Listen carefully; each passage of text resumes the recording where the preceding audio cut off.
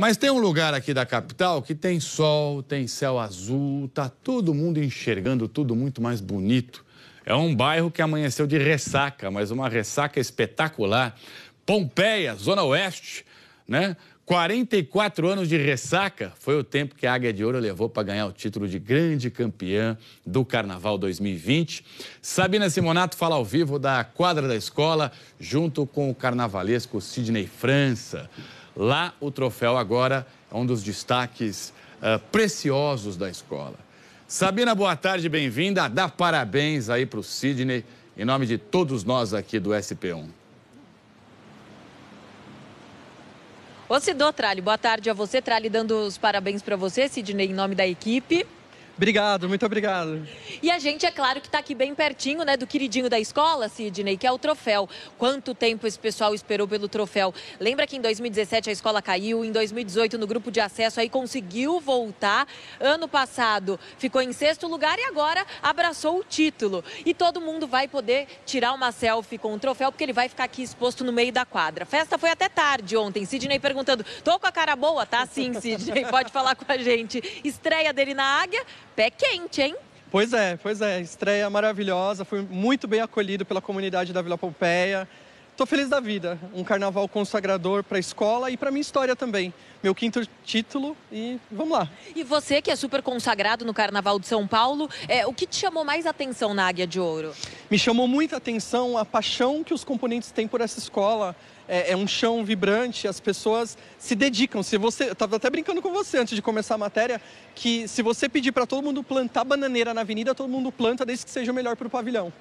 É e, e, esse foi um dos destaques no desfile, né? Você estava me falando, evolução. Exatamente, a evolução da escola foi muito interessante, porque é um quesito truncado, técnico, para um campeonato, né? A gente sempre precisa de uma escola que desfila corretamente. E, e a evolução da escola foi muito vigorosa nesse sentido, não só o canto, mas também a evolução méritos de todas as nossas alas, o chão da Guia de Ouro maravilhoso. E no, na hora do desfile, quando a escola entrou na avenida, você falou que tinha gente ainda terminando fantasia? Pois é, pois é, acontece. São coisas do carnaval, né? A gente teve uma ala aí com um problema sério a escola entrando na avenida e chegando fantasia no AMB, mas faz parte. A gente tem que saber contornar tudo isso, mas chegou com qualidade, o que é mais importante, a escola conseguiu seu êxito. Para finalizar, quero saber onde você estava ontem na apuração. Não estava no Sambódromo, não estava na escola? Pois é, eu estava na minha casa, sofrendo, chorando. É, é, nos últimos anos eu tenho ido para o AMB, mas nesse ano eu disse, eu não vou é uma prova de cardíaco e eu prefiro ficar em casa sofrendo. Depois eu vim aqui para a quadra e extravasei com a comunidade. Meus parabéns, Sidney. E só lembrando que o presidente, que também se chama Sidney, não foi em nenhum dos lugares. Sabe o que ele fez? Eu conversei com ele, ele pegou a estrada, foi sem rumo, desligou o celular. Passou um horário, ele falou: vou ligar o celular de volta. Bombou de mensagem. Ele falou: alguma coisa boa aconteceu. E aconteceu mesmo. Na Praça do Samba, na Pompeia, o balançar hoje era só esse. Sinal de ressaca da comemoração? Nem tirou a camiseta de ontem? Não. Ainda não. Nota a nota, ponto a ponto, na maior torcida e a gente está muito feliz mesmo. Parabéns, Águia de Ouro.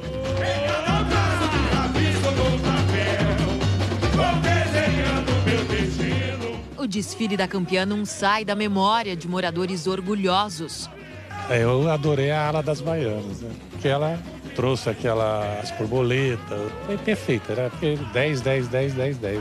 Eu gostei da porta-bandeira. Ah, eu gosto daquelas fantasias rodadas. A bateria, né? Eu sou apaixonada pela bateria. Muito linda, só mereceu 10 mesmo.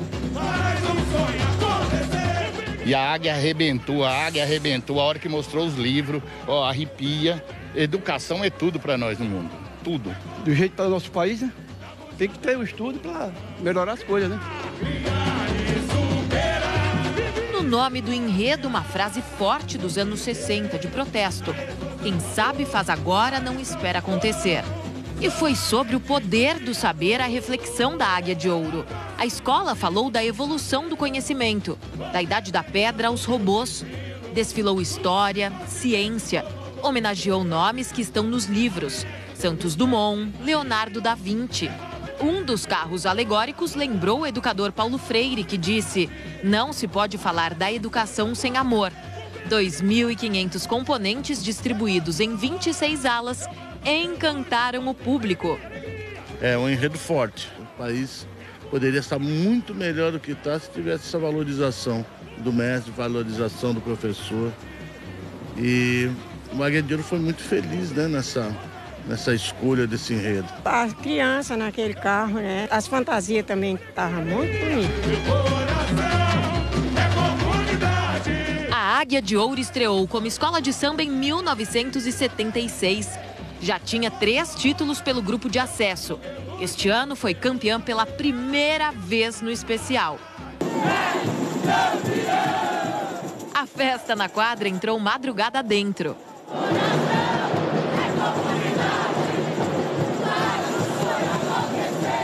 Esse enredo é a minha cara e a cara do Brasil. Enquanto a educação não mudar, a gente não vai para lugar nenhum. E as pessoas precisam ver isso. Gente, é muita emoção, é muito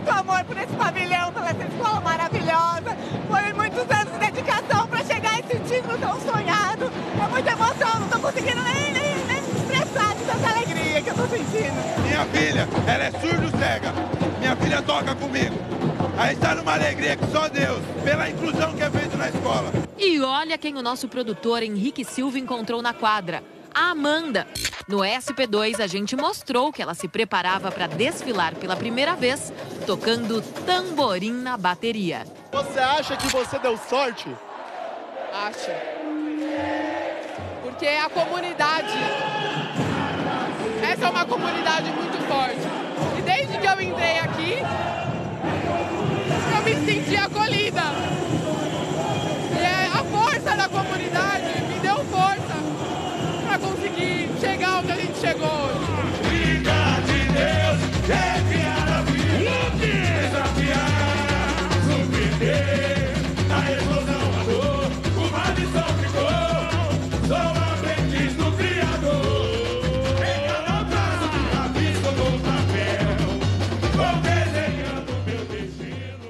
Mais uma vez aqui nosso sonoro parabéns para a Águia de Ouro, né? Primeiro título no ano de 2020. Olha que coisa bonita, né? E sabadão agora tem desfile das campeãs lá no Sambódromo. Vamos juntos acompanhar a ordem aqui dos desfiles, então. Começa com as escolas que venceram o grupo de acesso. Nove da noite entra na Avenida Morro de Casa Verde, que ficou em terceiro lugar. Depois vem Acadêmicos do Tucuruvi, vice-campeã. E a Vai Vai, campeã do acesso. Essas duas, né? Acadêmicos e a Vai Vai voltam, então, para o grupo especial no ano que vem.